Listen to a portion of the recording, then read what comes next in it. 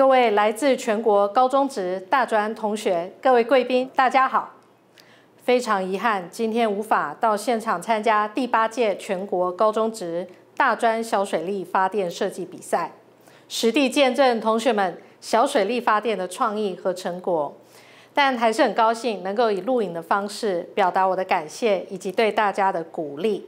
首先，感谢所有的主办单位提供这么好的机会和资源，筹办这场比赛，让同学能够尽情发挥他们的创意，还有对创造能源的想象。希望这里所有的创意和成果，能为台湾的小水力发电带来突破性的发想，让再生能源的脚步能够走得更快。二零五零近零转型是国际共同的愿景，也是台湾的重要目标。这需要政府、地方和民间长期协力合作来带动绿色转型。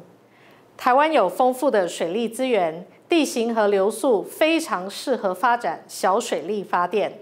它所产生的电力不但可以直接提供当地社区和居民的使用。同时，也是绿色能源，可以带动地方创生的发展。一直以来，我对年轻朋友解决公共政策问题的能力充满信心和希望。我知道你们总是能用令人意想不到的创意，让大家知道解决问题不只是只有一种方法，看问题的角度也不只是只有一种方式，而是多元多面向的。感谢今天所有的同学参与。二零五零近零永续需要我们一起努力。